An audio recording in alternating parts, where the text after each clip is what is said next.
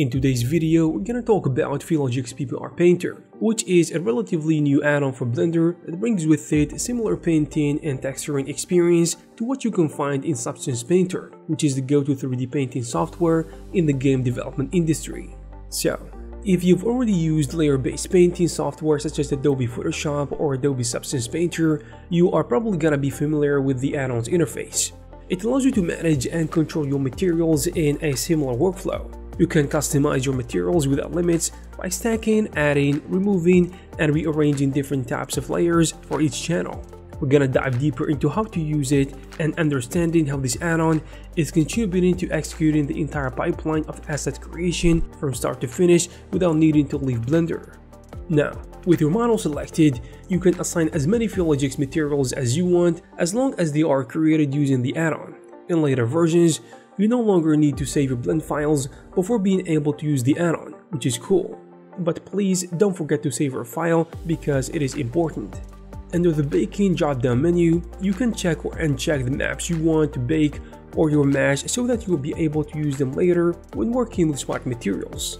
You can bake normals from a high resolution object to a low resolution one, an ID map based on vertex colors, you also have an ambient occlusion map, and also a curvature map which gives you all the information you need for adding edge marks details. You can select the high resolution object using the eyedropper tool and access the necessary parameters for baking normals directly in the N panel.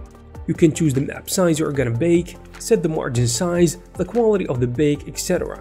If your object doesn't have or need edge details or concave information, you need to proceed directly for texturing.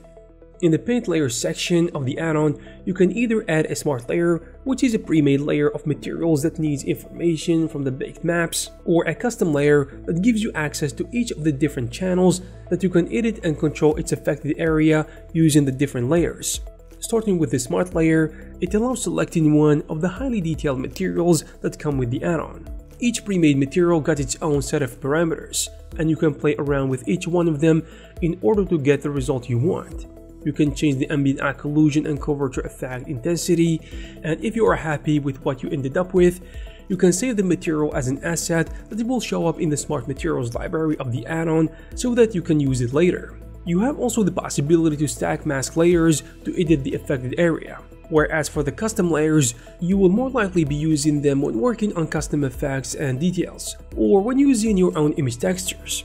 You can stack multiple layers including surface layers, image layers, anchor layers, ID layers, in addition to filter layers in all the different channels of the material which implies the base color channel, metallic, roughness, emission, alpha transparency, height and normals. The surface layer gives you access to different procedural and smart textures that you can play around with such as noise texture, brick, rust, falling dust mask and more. The image layer gives you not only the possibility to import image textures, but also provides quick access for texture painting directly on the surface of your object in order to be able to add custom details either by using the native Blender brush or imported ones such as water leakage, scratch brush, etc.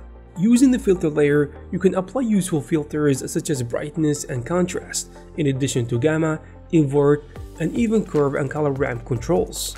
You can quickly switch between the view modes of your material using the Pie Preview menu, with the V key as the default short key, which you can edit in the add-on's preferences. This Pie menu allows you to better preview your different channels and isolate the only channel you are working on.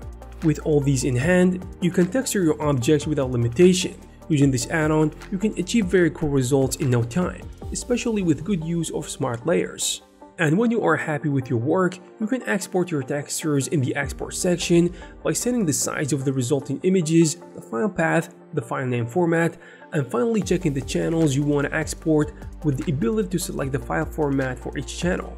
And this is how you can get asset textures ready to use either for better 3D production or to export them to your game engine. If you are interested in this add-on, you will find the necessary links in the description. I hope you found this video useful. If you did, please give it a thumbs up. You can also check some of our previous videos. Thank you very much for watching and I'll see you in the next one.